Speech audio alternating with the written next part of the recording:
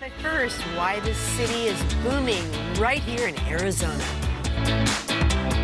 For a great place to work, play, and raise a family, consider Maricopa. The city is growing by leaps and bounds. Mayor Christian Price joins us now with more. And Mayor, it really is amazing. I remember when Maricopa was just kind of a blip on the GPS, but it has grown and thrived.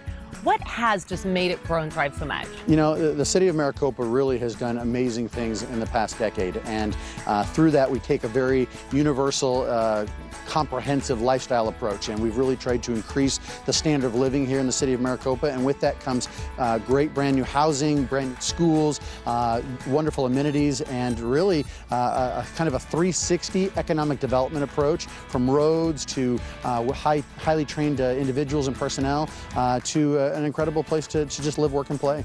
Businesses have really come out in force. Tell me about that growth. So, you know, I think all of us have worked uh, very diligently through the, uh, the recession and trying to be prepped and ready for all the things that will uh, happen here as we, as we came out of the recession. And so we're starting to see the fruits of those labors. And, you know, businesses are really seeing a, a wonderful opportunity to come and serve the residents of, of this community. When you realize that we were probably started as a bedroom community, uh, people are really seeing an opportunity in which they can come and serve the residents and, and, and make a make a dollar in, in the process. Yeah, absolutely. And we were talking about the residents, and there's so many opportunities for them from housing to also business. Absolutely. Uh, you know, there, there's a lot of wonderful things that, that the city of Maricopa offers, and so that's something we're always promoting and talking about. But I think that our businesses are really seeing that as well. Uh, we, we, we have to compete, right? We have to compete with other cities and, and other populations, but uh, one of the things that people are seeing is that there is an amazing opportunity here in the city of Maricopa, and uh, great things are on the horizon. A lot of developments out a here, too. So yes. plenty of places, if you're looking for a new home, plenty of places to stay here. Absolutely. There's lots of home building.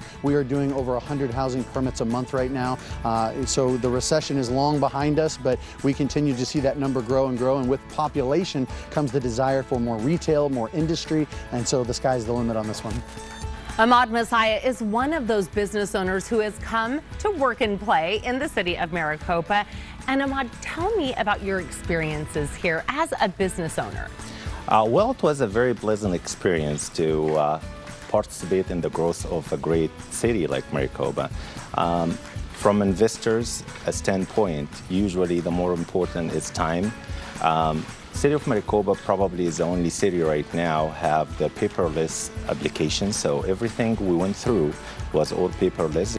We were talking about the SmartGov um, app and how the whole city is just paperless. So it makes it so much easier as a business owner and investor for you to do business. Because like you said, the timing is everything. Time is important. And uh, we felt a sense of urgency when we talked to any city staff. And the whole office actually was, you know, providing whatever support we needed.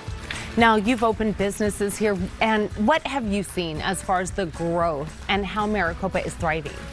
Uh, we were actually surprised by, uh, you know, over, you know, 2% of what we agreed, you know, to see as investment, which is pretty much, you know, uh, very important for new business to find a kind of a return right away.